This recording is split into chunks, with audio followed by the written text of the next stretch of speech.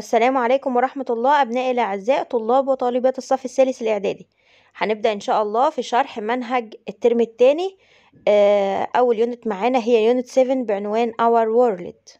ويلا نبتدي بال vocabs المفردات اللغوية اللي موجودة على الدرس الأول والتاني coastal coastal grassland grassland polar polar wetland wetland rain rain areas areas rainforest rainforest research research desert desert frog frog lake lake earth earth إنسان الغاب أورينيتين أورينيتين الجي لا تنطق إذا جه قبلها حرف إن فالنطق بتاعها أورينيتين turtle turtle.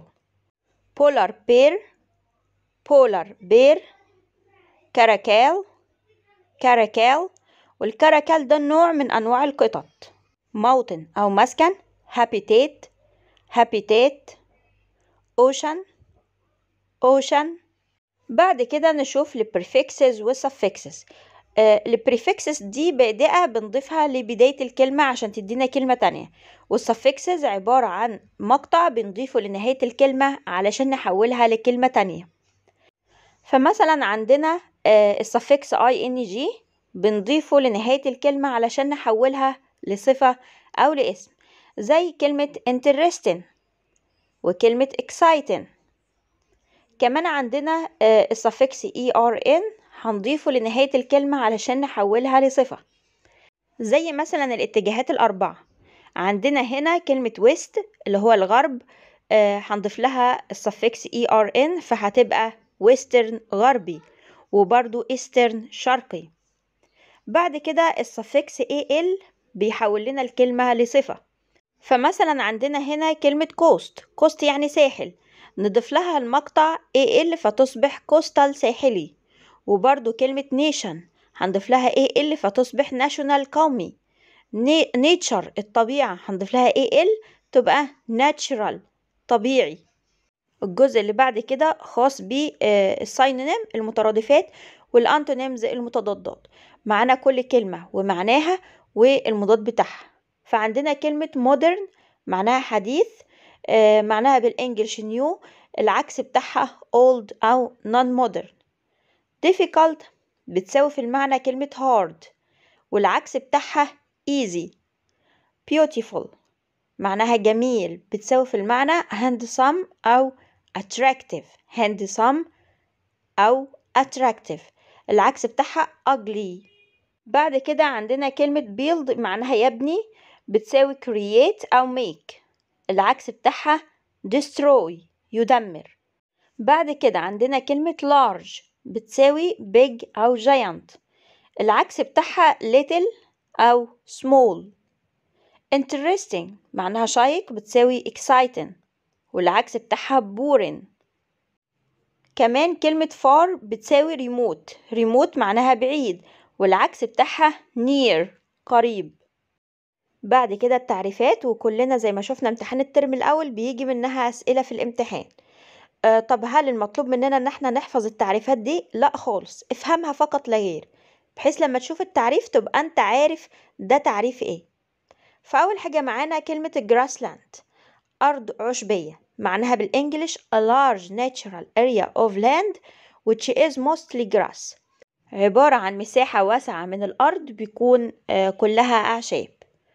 بعد كده الرين فورست الغابة الاستوائية آه، these habitats have a lot of trees. They are usually آه، very hot and have a lot of rain. الغابة الاستوائية عبارة عن مكان مليء بالأشجار. كمان بيميزه حاجتين إنه بيكون حار جدا وفيه أمطار غزيرة. Wetland أرض رطبة. عبارة عن an area of land that is often flooded by water. بتكون عبارة عن مساحة من الأرض مغطاة بصفة مستمرة بالماء. Polar could be describing things to do with the north or south poles.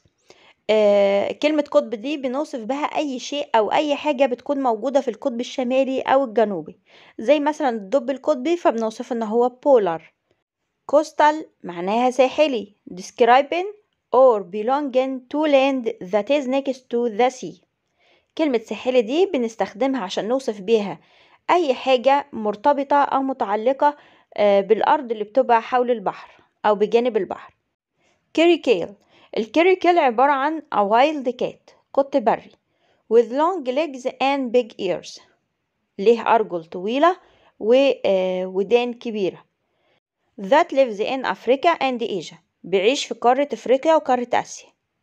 Oasis عبارة عن an area in the desert where you can find water الواحة وهي عبارة عن منطقة في الصحراء يمكنك أن تجد بها الماء surrounded by محاط بيه معناها everywhere around you أي مكان بيحيط بيك بعد كده كلمة fill معناها يملأ يعني make something full بتخلي الشيء مليان so there is no space for any more of something بحيث ان ما يكونش في اي مساحة عشان تضيف عليها حاجة تانية orangutan a large animal with long red hair and long arms إنسان الغابة عبارة عن حيوان كبير ليه شعر طويل أحمر وكمان عنده ذراعين طوال which lives in the trees of Indonesia بعد كده habitat معناها موطن يعني the natural home of an animal or plant المكان الأصلي أو الطبيعي للحيوان أو النبات.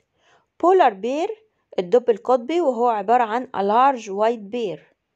دب كبير أبيض which lives on the ice of the Arctic wonder معناها something that makes you feel it's beautiful or amazing. لما بتشعر إن الشيء ده جميل أو مدهش فبيحصل لك وندر تعجب.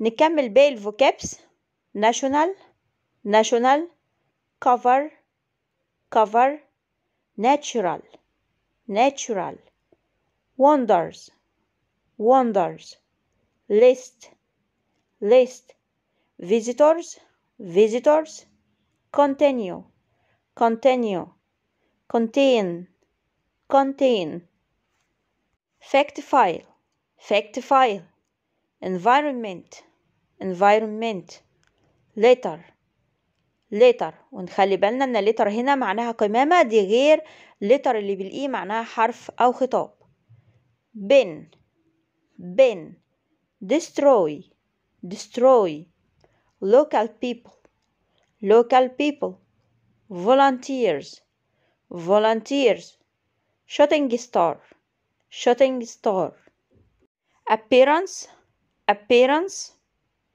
unusually unusually. Meteorite meteorite. Natural natural. Triangle triangle. Pollute pollute. Beautiful beautiful. Different different. Shapes shapes. Bright bright palm tree palm tree factory factory wildlife wildlife location location describe describe date date protect protect mountain mountain field field فيلد معناها حقل أو مجال. مجازين magazine wind wind believe believe paint paint basket basket oasis oasis ولما نيجي نجمع كلمة واحة بنحول ال i إلى e fence fence.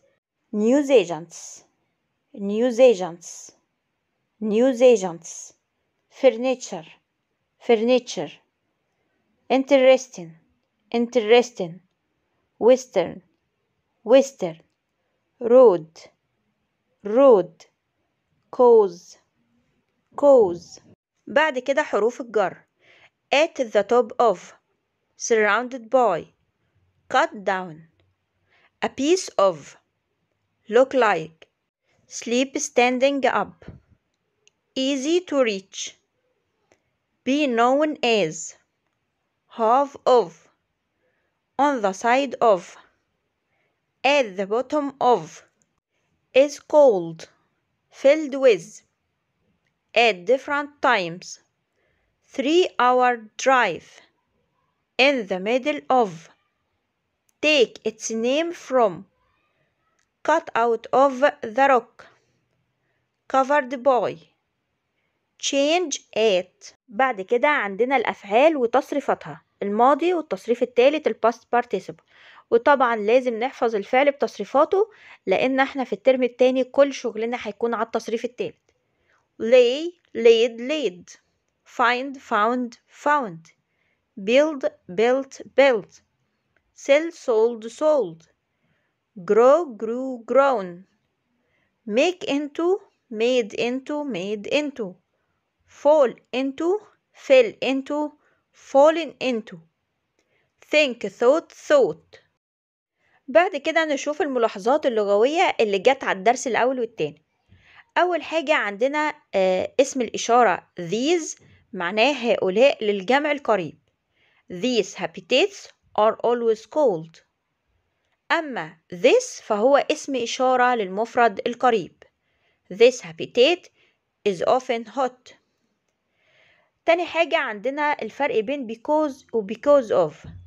Because معناها لأن. وكلنا عارفين إن بيجي بعدها جملة كاملة. فاعل وفعل ومفعول. لازم يجي بعد because جملة كاملة.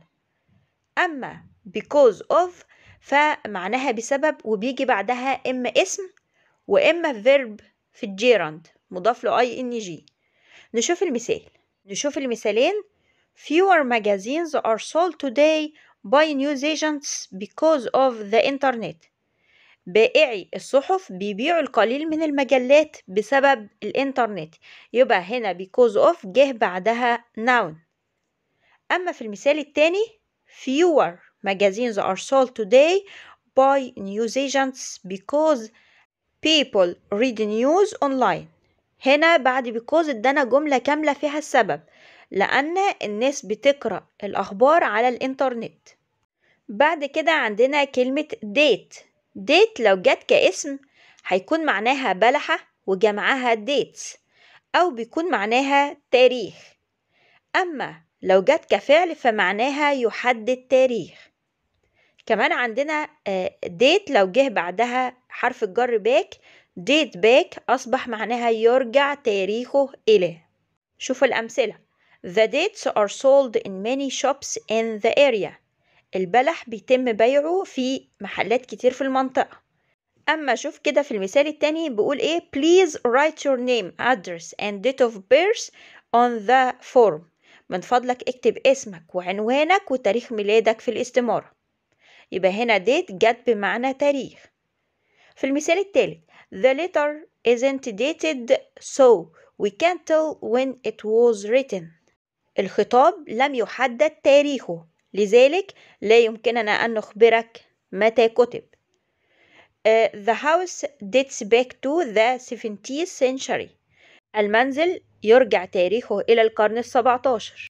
يلا نشوف درس ال reading طبعا ال reading ده مهم لأن هو اللي بيثبت لك حفظ الكلمات. الناس اللي بتشتكي إن إحنا بنحفظ الكلمات وبننساها لو أنت هتقرأ الدرس وتشوف الكلمات جوه الدرس آه الكلمات بتثبت بنسبة 100% The Kharga oasis is surrounded by desert far from the river Nile. It's visited by more and more tourists every year. Hundreds of date palm trees are grown here. The dates are sold in many shops in the area. You can also fill your bags with the baskets, shoes, and furniture that are also made from the date palm trees. The uh, Kharga oasis is one of Egypt's natural wonders. الفقرة اللي قدامنا بتتكلم عن واحة الخارجة واحة الخارجة محاطة بيه كلمة surrounded by معناها محاطة بيه محاطة بالصحراء وهي بعيدة عن نهر النيل كل سنة الكثير والكثير من السياح بيزوروا الواحة. آه كمان بقولك إن في المئات من النخيل palm trees معناها النخيل بيزرع في الواحة. البلح بيتم بيعه في الكثير من المحلات في المنطقة. بقولك كمان آه تقدر إن أنت تملى الحقائب بتاعتك وأنت هناك بالباسكتس السلات وكمان الأحذية والأساس يعني هو يقصد إيه؟ يقصد إن واحة الخارجة مشهورة بزراعة النخيل والنخيل ده بيستخدموه في حاجات كتير. أول حاجة بياخدوا منه البلح يبيعوه تاني حاجة بيصنعوا منه أثاث وكمان بيصنعوا أحذية ويصنعوا سلات. بعد كده الخارجة بقولك إن الخارجة واحدة من العجائب الطبيعية في مصر. ركز بقى في الحاجة المهمة جدا وهي سؤال ال paragraph اللي دايما كلكم بتشتكوا منه. هنبدأ نذاكره الترم ده أول بأول. وده أول موضوع متوقع معانا يجيلنا في امتحان نهاية العام. Natural Wonders of Egypt. العجائب الطبيعية في مصر. ده موضوع متوقع جدا يجيلك في نهاية العام. بقولك Egypt is visited by more than 14 million tourists every year. مصر بيتم زيارتها بواسطة 14 مليون سائح كل عام. We have made a list of the natural wonders of Egypt. عملنا لك قائمة بالعجائب الطبيعية اللي موجودة في مصر that we think visitors should know about. العجائب الطبيعية دي مفروض إن الزوار يكونوا عارفينها. أول حاجة بيتكلم عن ال White Desert National Park منتزه الصحراء البيضاء القومي أو الوطني. طيب يلا نعرف معلومات عنه مكانه فين. This huge desert starts on the western side. الصحراء الضخمة دي بتبدأ من الجانب الغربي of the river Nile لنهر النيل and continues into Libya وبتفضل مستمرة لحد ما نوصل حدود ليبيا. المكان التاني هو النيزك ليك بحيرة النيزك. This natural lake. طبعا دي بحيرة طبيعية ما هياش من صنع البشر. Is a three hour drive from هرجيدة على بعد ثلاث ساعات بالسيارة من الغردقة. آه المكان الثالث وهو جبل إلبا اللي هو جبل علبة. This national park is surrounded by grasslands between the Red Sea coast and the mountains. آه عبارة عن حديقة قومية محاطة بالأراضي العشبية. موجودة بين البحر ساحل البحر الأحمر والجبال. يبقى كده الموضوع ده لو جالنا في الامتحان معانا ثلاث أماكن عرفنا هي موجودة فين هنوصفها إزاي. هنا بقى هيديلك معلومات أكتر عن الثلاث أماكن. أول مكان معانا الصحراء البيضاء بقولك it contains five oases. الصحراء البيضاء بتحتوي على خمس واحات. with rocks بها صخور. الصخور دي Uh, that the wind has made into strange shapes. الصخور دي اتشكلت عن طريق الرياح والرياح عملتها بشكل uh, غريب شوية تاني مكان نايزك ليك The lake is called the shooting star by locals. الناس المحليين اللي هم سكان المنطقة سموا البحيرة ببحيرة النيزك. السبب؟ Because it's believed that a piece of star اللي هو الميترايت fell into it. The lake uh, is cut out of the rock in the shape of an eye. إن أهل المنطقة عندهم اعتقاد إن زمان في uh, شهب أو نيزك سقط على البحيرة فحولها لصخرة على شكل عين والعين دي اتملت بمية زرقاء لامعة زي مية البحر الأحمر المكان الثالث وهو حديقة جبل علبة This national park الحديقة القومية دي takes its name from the mountain in the middle of it. خدت الاسم بتاعها من اسم الجبل اللي موجود فيها اللي هو جبل علبة. تعالوا بقى نشوف الأماكن دي ليه تعتبر wonders ليه بيعتبروها من العجائب. أول حاجة بالنسبة للصحراء البيضاء the colors change at different times of day. And make them beautiful to look at ألوان الواحات اللي موجودة في الصحراء البيضاء بتتغير في أوقات مختلفة من اليوم وده بيخلي المنظر جميل جدا بالنسبة لبحيرة النيزك It's described by visitors as one of the best place to dive and swim. الزوار اللي بيزوروا المكان ده بيوصفوا إن هو أفضل مكان للغطس والسباحة. بالنسبة لحديقة جبل علبة It's unusually green and home to many animals and birds. على غير العادة هي خضراء وكمان تعتبر موطن للكثير من الطيور والحيوانات.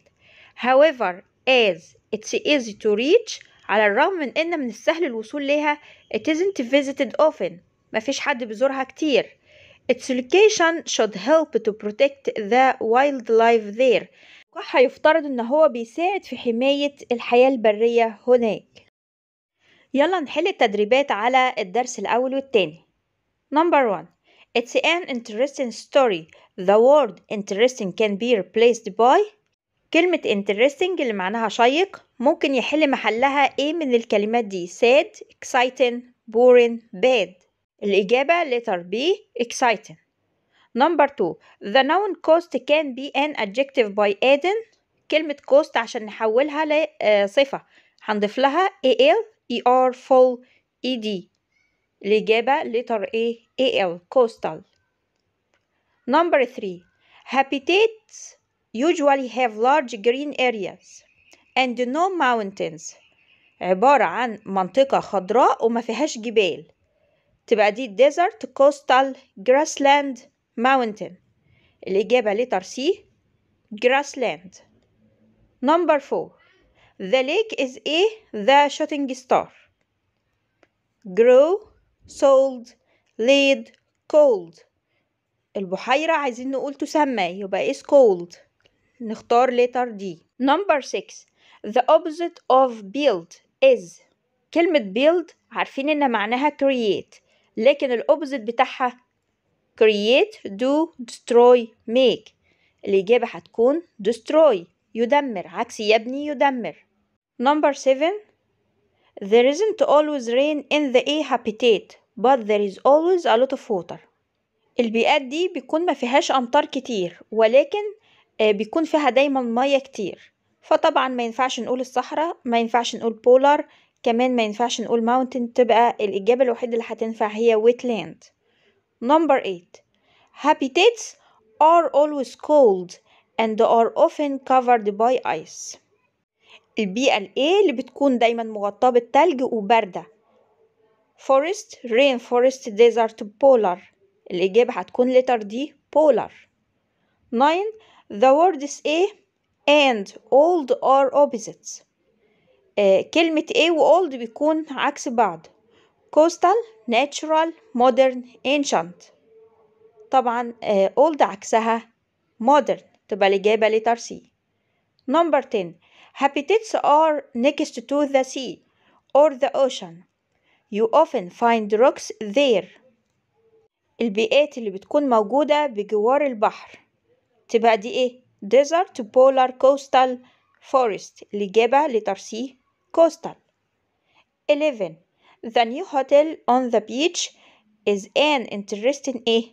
it looks like a ship الفندق الجديد اللي موجود على الشاطئ عبارة عن إيه شيق إنه يبدو كسفينة يبقى shooting star shape meteorite star الإجابة هتكون letter B shape شكل شيق number 12 Mr. Tariq's house is A by trees it's very different to see from the road wandered laid surrounded liked أخدناها في الكلمات surrounded by محاط بالأشجار number 13 the farmer built a new fence around his fields to aid his animals الفلاح عمل أو بنى سور آه كبير حوالين الحقول بتاعته عشان إيه حيواناته fill sell cook protect الإجابة letter D protect علشان يحمي حيواناته 14 remember to air your bottles with water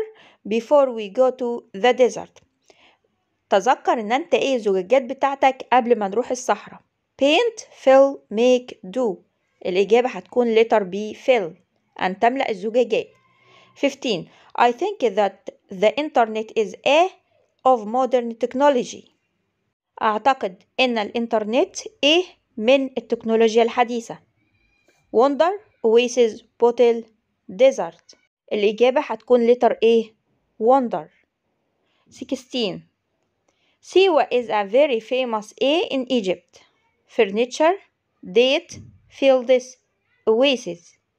سيوة دي عبارة عن إيه مشهورة. تكون الإجابة لتر دي oasis واحة مشهورة. وبكده انتهينا من جزء المفردات اللغوية. يلا نشوف الجزء الخاص بالجرامر. الجزء الخاص بالقواعد. القواعد اللي موجودة في الدرس الأول والتاني بتتكلم عن زمن المضارع البسيط والماضي البسيط ولكن في صيغة المبني للمجهول. نفتكر الأول مع بعض المضارع البسيط كان بيستخدم ليه وبيتكون من إيه علشان نعرف نشتغل صح. أول حاجة المضارع البسيط كنا بنستخدمه لما نيجي نتكلم عن عادات متكررة كمان عن حقائق ثابتة وكنا بنستخدمه في زمن المستقبل لما كنا نتكلم عن المواعيد الثابتة والجداول اللي ما بتتغيرش زي مواعيد القطارات والطائرات ومواعيد البرامج والدروس. أما بالنسبة لتكوين الجملة في زمن المضارع البسيط إذا كانت الجملة بادئة بفاعل الفاعل ده جمع سواء كان اسم أو ضمير زي I, we, you, they أو أي اسم جمع فالفعل اللي هيجي بعده يكون في صيغة المصدر. ده لو الجملة بتاعتي جملة مثبتة. أما لو كانت الجملة منفية فبننفي بدونت بعدها فعل في المصدر. يبقى الجملة لو مبدوءة بفاعل جمع أو ضمير جمع في الإثبات بيكون فعل في المصدر في النفي بيكون don't والمصدر. مثال I play football every day. أنا بلعب كرة قدم كل يوم. هنا الفعل جه في المصدر. لو حبينا ننفي هقول I don't play football every day. لكن لو الفعل بتاعي كان اسم مفرد أو ضمير مفرد زي he وشي وإت أو أي اسم مفرد ففي الحالة دي إذا كانت الجملة مثبتة الفعل بتاعنا هنضيف له s i e s. أما إذا كانت الجملة منفية فهننفي ب doesn't بعدها الفعل في المصدر. ركز doesn't بعدها فعل في المصدر. مثال he has lunch at 3 o'clock. هنا استخدمنا الشكل التاني من have اللي هو has علشان إحنا قلنا he وشي وإت عايزين الفعل في حرف s. أما في النفي فهقول he doesn't هنفي ب doesn't he doesn't have الفعل رجع لأصله. he doesn't have lunch at 3 o'clock. طب إيه اللي كان بيعرفنا إن الجملة بتاعتنا في زمن المضارع البسيط؟ إن إحنا نشوف ظرف من ظروف التكرار اللي هي always sometimes usually often never. آه وطبعا كنا بنقول إن موقع ظروف التكرار كانت بتيجي قبل الفعل الأصلي قبل الفعل الأساسي في الجملة أو بعد verb to be بعد am و is و are. كمان من ضمن العلامات اللي بتعرفنا ان الجملة في زمن المضارع البسيط كلمة every. Every بعدها فترة زمنية every day every week every month every year. يبقى كده اتذكرنا مع بعض تكوين الجملة المثبتة والجملة المنفية في زمن المضارع البسيط. بقى عندنا صيغة الاستفهام. قلنا الاستفهام عندنا صيغتين صيغة السؤال بهل وفي الحالة دي في زمن المضارع البسيط بنسأل بدو أو does. بعدها فاعل بعد كده فعل في المصدر. أما السؤال بكلمات الاستفهام فبيكون بعد كلمة الاستفهام do أو does بعدها فاعل وبعدين فعل في المصدر. مثال where does he live where أدي كلمة الاستفهام does ده الفعل المساعد بعد كده الفاعل والفعل live في المصدر. do they have a villa هنا do معناها هل يبقى ده صيغة الاستفهام بهل. يبقى ركز بعد do does لازم نجيب الفعل في المصدر. كل اللي فات ده كان مجرد تذكير. يلا بقى ندخل على الشغل الجد اللي مفروض هنتسأل فيه في الأسئلة. طبعا إحنا ما عندناش سؤال ريرايت علشان يقول لنا ابن الجملة للمجهول لكن بجيبهولك في سؤال الكوركت سؤال تصحيح الكلمة اللي بين الأقواس. طب في الحالة دي أنا إيه اللي يعرفني إن الجملة اللي قدامي مبنية للمجهول ولا جملة عادية؟ إحنا عارفين الجملة العادية بتبدأ بالفعل سواء اسم أو ضمير. لكن الجملة المبنية للمجهول بتكون مبدوءة بالمفعول. فإذا بدأت الجملة بالمفعول أعرف على طول إن دي جملة مبنية للمجهول. واحد يقول يا مس طب ما هو المفعول برضو بيكون اسم والفعل اسم. أنا أعرف منين إن هو فعل برضو أو مفعول. هتسأل نفسك سؤال بسيط. هو الفاعل أو الاسم اللي بادئين بالجملة ينفع يقوم بالفعل؟ إزاي؟ تعال ما أوضحها لك بمثال. شوف المثال ده كده. أحمد plays football every day. أحمد ده فاعل. إيه اللي عرفني إن هو فاعل وإن دي جملة عادية؟ لأن أحمد هو اللي هيقوم بالفعل. هو اللي هيلعب football لكن شوف المثال التاني. Is played every day by أحمد. football دي مفعول ما هياش فاعل. عرفنا إزاي؟ إن football ما ينفعش تقوم بالفعل. ال football ما ينفعش تلعب ولكن تلعب. يبقى هنا الجملة اللي قدامي دي مبنية للمجهول. بدأت بالمفعول وليس الفاعل. تعالوا ما نشوف إزاي بنينا الجملة للمجهول. أول حاجة بندور على المفعول ونجيبه ونحطه في بداية الجملة. طب المفعول عندي هنا كلمة football فهبدأ بها الجملة. بعد كده لازم نجيب جزء من verb to be طب ده زمن مضارع ف verb to be عندنا في المضارع بيكون إيه؟ يا am يا is يا are football مفرد فهتاخد is اذا هستخدم is يبقى دايما بعد المفعول هنجيب جزء من verb to be في المضارع يا am يا is يا are بعد كده الفعل الأصلي الأساسي بتاع الجملة اللي هو plays هنحطه في التصريف التالت. تبقى played. يبقى football is played. أكمل الجملة بقى every day. طب الفاعل أعمل فيه إيه؟ بنحطه في نهاية الجملة مسبوق بحرف الجر by. by أحمد. نشوف مثال كمان. ندى writes two emails. ندى تكتب إيميلين. فين المفعول هنا؟ two emails. two emails هي المفعول. هبدأ بالجملة. Two emails وإحنا اتفقنا هنجيب جزء من verb to be يا am يا is يا are طب emails جمع يبقى هناخد are two emails are. الفعل الأصلي writes هنحطه في التصريف الثالث يبقى written. بعد كده ندى هنحطها في النهاية مسبوقة بحرف الجر by by ندى. دي القاعدة بتاعتنا اللي المفروض نكون عارفينها كويس. بنبدأ بالمفعول بعدها am is are ولو عايزين ننفي هنحط not. يعني لو الجملة منفية هنزود uh, not تبقى am not is not are not. بعد كده الفعل الأصلي اللي هو الأساسي في الجملة يبقى في التصريف الثالث by وبعد كده الفعل. دي أمثلة. These areas are known. طبعا المنطقة مش هتعرف المنطقة تعرف عشان كده قلت are known. As polar habitats. Uh, warm wet areas are called a rainforest. المناطق الدافئة الرطبة تسمى الغابات الاستوائية طبعا هي ما هتسميش نفسها يبقى مبنية المجهول ما ينفعش تقوم بالفعل أما بالنسبة للسؤال في صيغة المبني للمجهول هنعرف إزاي السؤال اللي قدامنا مجهول ولا سؤال عادي سؤال مبني للمعلوم نشوف المثالين. المثال الأول بيقول does آية watch films? هل آية آه اللي جاي هنا بعد does الفاعل. الفعل اللي هيكون بالفعل اللي هيكون بالمشاهدة. هل آية شهادة بتشاهد الأفلام؟ أما في المثال التاني بيقول are films watched by آية هل الأفلام؟ طب الأفلام هنا تشاهد ولا تشاهد؟ تشاهد. ما ينفعش الأفلام تشاهد. يبقى الاسم اللي موجود عندي ما ينفعش يقوم بالفعل. فبالتالي ده سؤال مبني للمجهول. طريقة بناء سؤال هل للمجهول؟ أول حاجة do does بيتم حذفها تماما. وهنبدأ السؤال بتاعنا بجزء من verb to be يا am يا is يا are على حسب المفعول بتاعي مفرد أو جمع. المفعول بتاعنا هنا films. films جمع يبقى أنا هسأل ب are are ونجيب بعدها المفعول. are films يبقى أول حاجة بنحذف do أو does وبدلا منها بنحط يا am يا is يا are بعد كده المفعول بعد المفعول بنحط الفعل الأساسي في التصريف الثالث طب بالنسبة للفاعل بنجيبه في الآخر مسبوق ب by by آية. أما بالنسبة للسؤال بكلمات الاستفهام لما نحب نبنيه للمجهول أول حاجة كلمة الاستفهام بتنزل زي ما هي ما بنعملش فيها حاجة.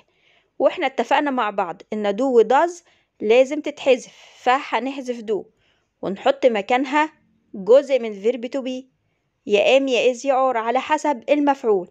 المفعول عندي ماتش طب الماتش هنا مفرد.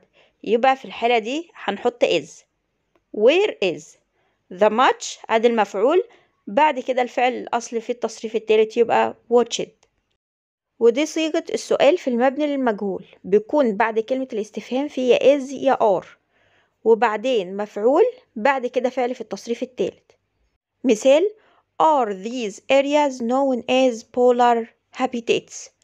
لاحظنا هنا إن هو بادئ السؤال بار وبعد ار في مفعول. يبقى على طول لازم الفعل يكون في التصريف التالت. المثال التاني what are warm wet areas called? هنا برضو بعد what جاب are جزء من verb to be. وبعدها مفعول يبقى لازم بعد المفعول فعل في التصريف التالت. يلا نشوف مع بعض بعض التدريبات. الجزء الأول ده خاص بطلاب الأزهر. إحنا عندنا في المدارس العام ما بيسألناش في جانب الجرامر في سؤال الاختيارات. أما الأزهر عندهم. Choose the correct answer. Number one. The Egyptian Museum. By many million tourists every years. طبعا المتحف المصري ما ينفعش نقول يزور فهنقول يزار يبقى مبني المجهول. وبالتالي عايزين جزء verb to be am is are وتصريف تالت. الإجابة الصحيحة letter D is visited. Number two, books in that shop over there. الكتب عايز يقول هنا إيه؟ تباع. ما هي ما تبيعش نفسها. يبقى إذا الاختيار الصحيح are sold. are sold هي اللي مبنية للمجهول. رامي TV very often. الاختيارات isn't watched don't watch or watched doesn't watch.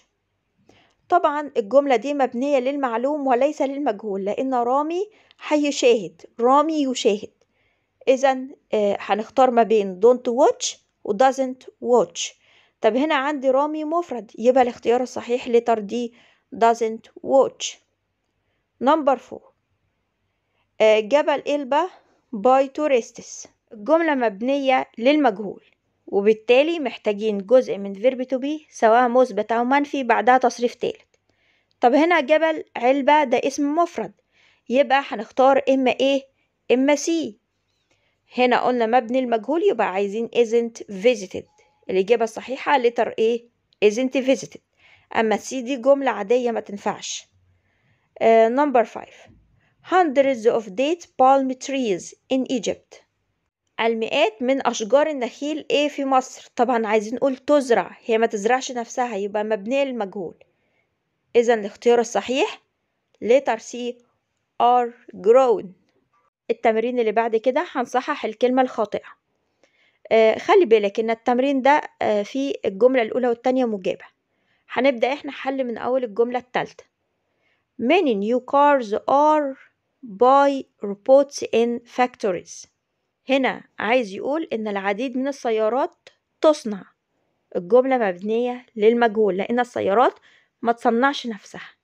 يبقى في الحالة دي هنحط الفعل make في التصريف التالت تبقى made number four our beaches are visiting by thousands of tourists each year هنا الجملة مبنية المجهول عرفنا منين إن our beaches شواطئنا تزار وليس تزور يبقى uh, visiting هنخليها في التصريف التالت تبقى visited number five squash doesn't play by many students طالما بدأنا بكلمة سكواش يبقى نفهم على طول الجملة مبنية للمجهول. طب هنا الجملة منفية كمان يبقى إحنا هنقول إيه؟ isn't played. isn't played. جزء من verb to be منفي وبعد كده الفعل الأصلي في التصريف التالت. Number 6 many houses built in coastal areas. عايزين نقول الكثير من المنازل تبنى. الجملة مبنية للمجهول. إذا الإجابة هتكون are built are built. Number 7 We are found for important wetlands in Egypt. الجملة بادئة بالفعل. إذا دي جملة عادية ما هياش مبنية للمجهول. وبالتالي هنحذف are found ونحط مكانها الفعل find في المصدر. We find لأنها جملة مضارع. Number 8 people are cut down a lot of our rainforests every year. الجملة دي برضو جملة عادية خالص لأنها بدأ بالفاعل. الناس هي اللي بتقطع الأشجار أو الغابات الإيه الاستوائية يبقى في الحالة دي هنحذف are cut down ونحط مكانها cut down فقط لا غير. جملة عادية في زمن المضارع البسيط.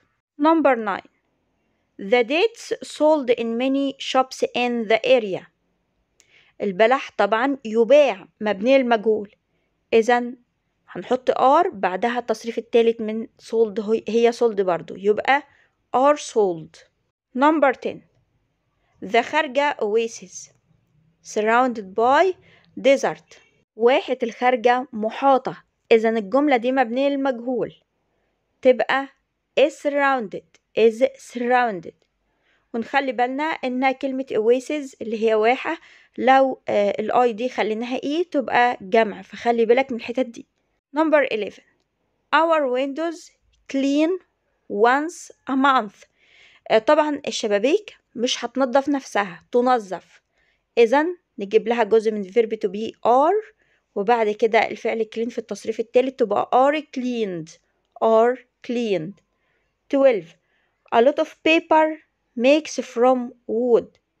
طبعا البيبر ما يصنعش نفسه تبقى مبنية المجهول تبقى الإجابة is made is made. واحد يقول طب ما في lot of المفروض تبقى are. لا ما انت خلي بالك إن paper مادة خام لا تجمع فهتبقى is made. وبكده وصلنا لنهاية درسنا النهاردة. انتظرونا إن شاء الله الفيديوهات القادمة. هيكون معانا أسئلة أكتر وكمان هيكون معانا شرح باقي اليونت. في رعاية الله والسلام عليكم ورحمة الله وبركاته. Música